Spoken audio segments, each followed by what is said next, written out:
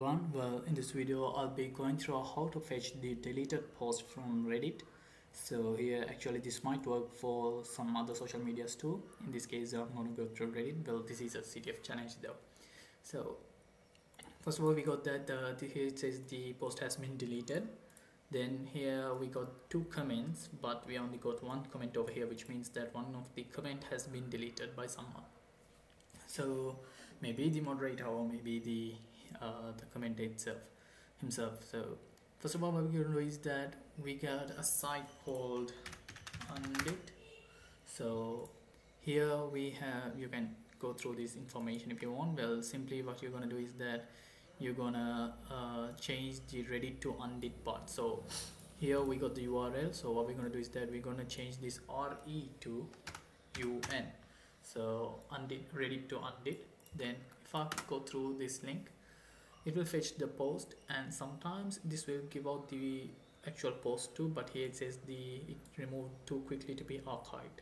Then when we go down here we got the, the, the comment which was already there and this one was the deleted comment. So it has been deleted six days ago. So this is the way that we can get the comments. Well if you the most uh, if you want to page, fetch the post the image well there is the Wayback Machine. Let's go through that. So Wayback Machine.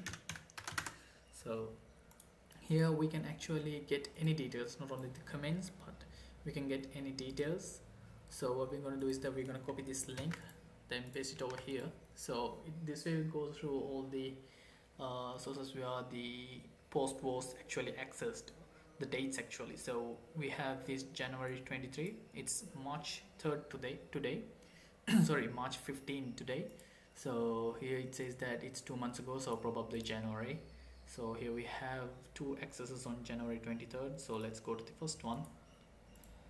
And let's see the results of it. So it has loaded the post and here we got the image. So this was a CTF challenge. It got the two CTF flags. So this is how we actually get the deleted post from social media. Thank you for watching